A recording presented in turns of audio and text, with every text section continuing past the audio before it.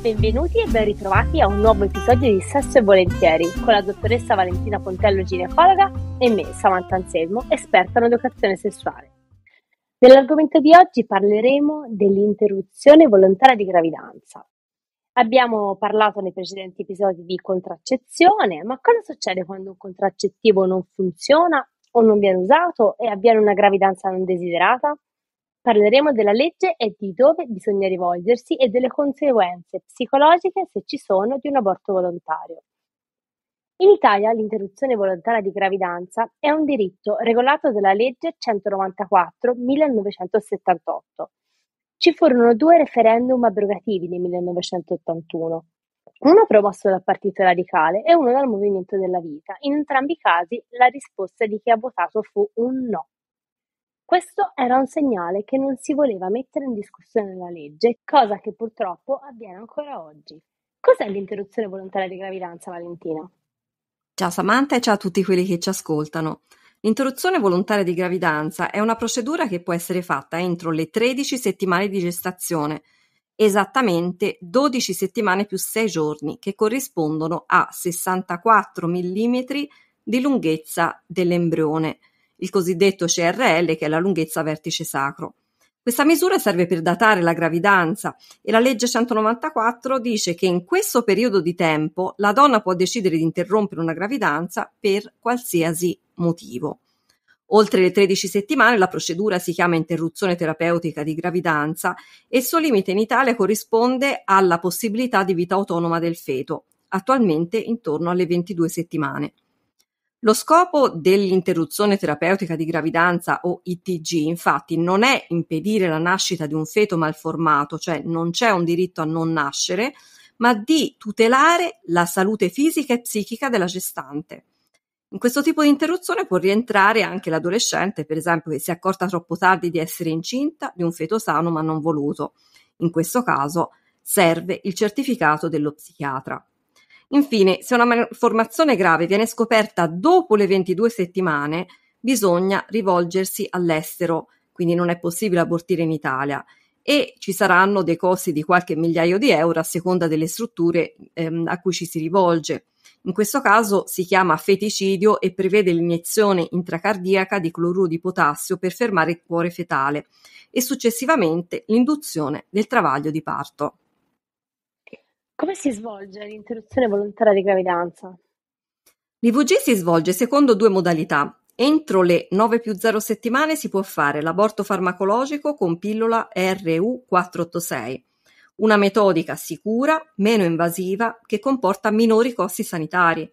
La pillola RU, il farmaco si chiama mifepristone, è un bloccante del recettore del progesterone, che è un ormone essenziale per la prosecuzione della gravidanza. In parole povere, l'RU blocca la placenta e successivamente un farmaco a base di prostaglandine determina contrazioni dell'utero che portano a una mestruazione con cui l'utero si ripulirà. Nel giro di qualche giorno gli ormoni della gravidanza scendono. Dopo circa un mese si ristabilisce un ciclo mestruale regolare. Entro le 12 più 6 settimane una gravidanza si può interrompere mediante revisione di cavità uterina, detta raschiamento, che è una procedura chirurgica in sedazione, cioè viene fatto un addormentamento però un po' più leggero di un'anestesia generale. Eh, viene dilatato il collo dell'utero e aspirato il suo contenuto. Possibili complicanze sono perforazione dell'utero, infezioni, emorragie, ma sono rare e anche in questo caso dopo un mese tornerà una mestruazione normale e quindi una normale fertilità. Dopo le 13 settimane, l'interruzione terapeutica di gravidanza consiste nell'induzione del travaglio abortivo, cioè si partorisce un feto che non può sopravvivere al di fuori del corpo materno. Se la placenta non si stacca del tutto, è possibile che dopo questo eh, parto abortivo si debba fare un raschiamento.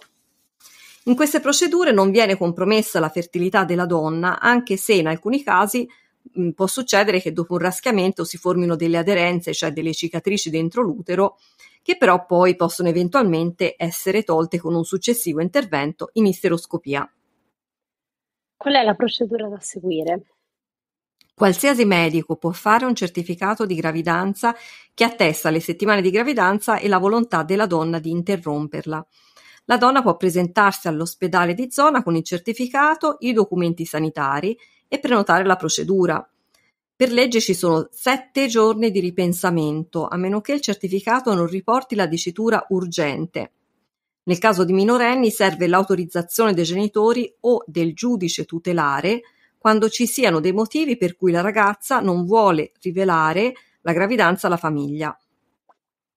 Sentiamo tutti i giorni delle storie terribili che arrivano dall'America. L'aborto è un diritto a rischio anche qui da noi? Sì, ci sono diversi contesti in cui abortire è molto complicato.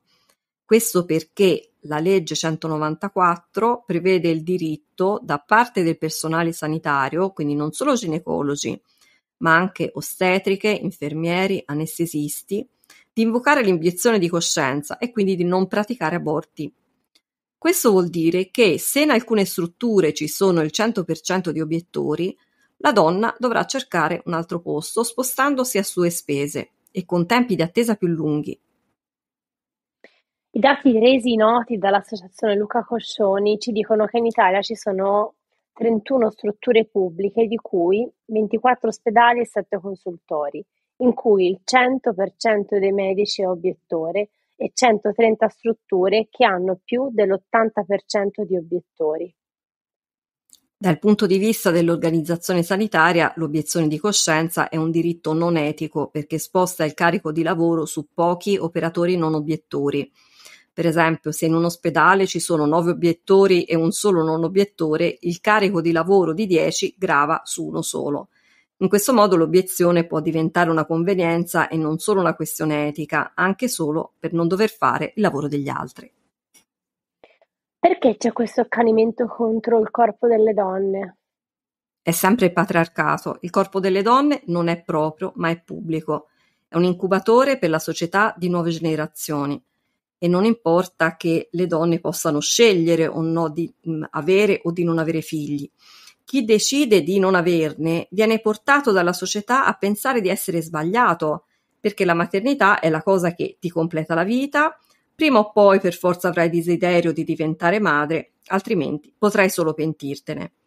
Ma non pensiamo che in un mondo che ha superato 8 miliardi di abitanti fare pochi figli o non farne sia più etico e sostenibile, Certo deve essere sempre una scelta per non rischiare l'imposizione del figlio unico, come è stato fino a poco tempo fa in Cina. E poi fare figli per cosa? Devono lavorare, pagare le pensioni, curare i genitori anziani, diventare soldati per difendere il paese. Ma se il sistema non è sostenibile e nessuno pensa a cambiarlo, si deve andare avanti a testa bassa sempre e comunque. Sì, il discorso dell'IVG va separato dalla bassa natalità. Le donne non fanno pochi figli perché abortiscono, ma perché non hanno sostegni da famiglia, Stato e società. Molte donne si rendono conto che anche una volta che hanno procreato, nessuno gli dice brava, anzi, l'hai voluta la bicicletta, mo pedala. E rimangono da sole con un carico emotivo e organizzativo. Nei paesi scandinavi, invece, per esempio, dove c'è un congedo parentale anche per i padri di tutto rispetto, i figli li fanno e come. Obbligare le donne ad avere figli che non desiderano, oltre a non essere etico, vuol dire far sì che queste stesse donne abbiano un livello sociale ed economico più basso. Perché se faccio un figlio a 18 anni difficilmente avrò modo di realizzarmi in un lavoro redditizio, a meno che non ci sia una rete familiare di supporto. Secondo te ci sarebbero dei modi per risolvere la questione dell'obiezione di coscienza? Eh, il modo secondo me sarebbe anche semplice se si volesse fare Prima di tutto aumentare gli aborti farmacologici che non impegnano la sala operatoria.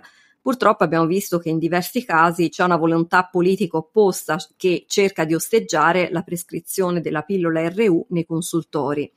Per incrementare gli aborti farmacologici bisogna mettere le donne in condizione di poter riconoscere precocemente una gravidanza. Eh, spesso le donne se ne rendono conto tardi dopo due o tre settimane. Una volta addirittura mi è capitato una quattordicenne che ha rivelato di essere incinta ai propri genitori alla quindicesima settimana. Poi ovviamente poter accedere velocemente alle strutture sanitarie in modo da tagliare i tempi. Anche la stessa dicitura dei sette giorni di attesa eh, spesso vengono comunque rispettati per tempistiche di lista d'attesa, ma sarebbe utile credere che la donna abbia la sua facoltà di scelta e che possa decidere per il suo corpo, il proprio corpo razionalmente. Poi il modo più ovvio sarebbe quello di abolire il diritto all'obiezione di coscienza e quindi ridistribuire il carico di lavoro in modo più equo. Eh, se si sceglie una carriera nell'ambito della salute della donna, si sa già che si dovranno praticare gli aborti, altrimenti si può scegliere di fare altro. Per ultimo, ma non meno importante, investire sull'educazione sessuale, che è la vera prevenzione. Con la legge 194 si stabilisce che i consultori già istituiti nel 1975 sono il luogo per la formazione e l'avvio dei giovanissimi ad una contraccezione e poi ad una genitorialità responsabile. Come abbiamo detto altre volte, i ragazzi conoscono pochissimo il consultorio. Nello studio nazionale fertilità dell'Istituto Superiore di Sanità su 16.000 adolescenti, solo il 3% dei ragazzi e il 7% delle ragazze si sono mai rivolti a un consultorio. Il 16% delle ragazze e il 30% dei ragazzi non sa nemmeno cosa sia. Che tipo di conseguenze ha l'aborto da un punto di vista psicologico? Interrompere una gravidanza è un'esperienza soggettiva e bisogna vedere il contesto in cui avviene.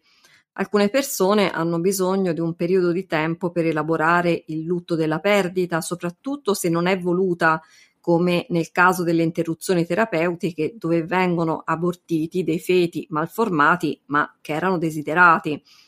In altri casi l'IVG, l'interruzione volontaria, può essere vissuta come una liberazione e quindi addirittura in modo positivo. Ci sono persone che si sentono in colpa per non sentirsi in colpa e su questo alcuni attivisti stanno cercando di ricostruire la narrazione intorno all'aborto. Sto parlando di IVG e sto benissimo, libera di abortire, non è un veleno, il nome si riferisce alla pillola RU e ai manifesti delle associazioni antiscelta.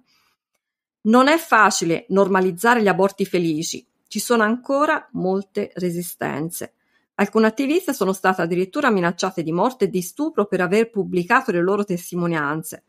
È importante restituire una visione d'insieme che è più complessa dell'aborto, come se dovesse essere per forza una macchia indelebile sulla tua coscienza che ti porterà in eterno.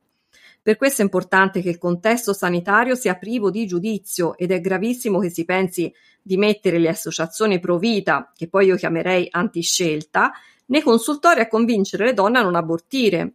Così come sembra inutile proporre dei sussidi monetari a chi cambia idea, perché chiaramente se il motivo dell'aborto è economico, allora un sussidio deve esserci per vent'anni. Noi vi ringraziamo di essere stati qui con noi Naturalmente ci trovate anche su tutte le altre piattaforme podcast e sui social siamo eh, Prevenzione per Piacere e chiocciola Valentina Pontello underscore ginecologa. Grazie ancora a tutti e alla prossima puntata. Ciao, alla prossima!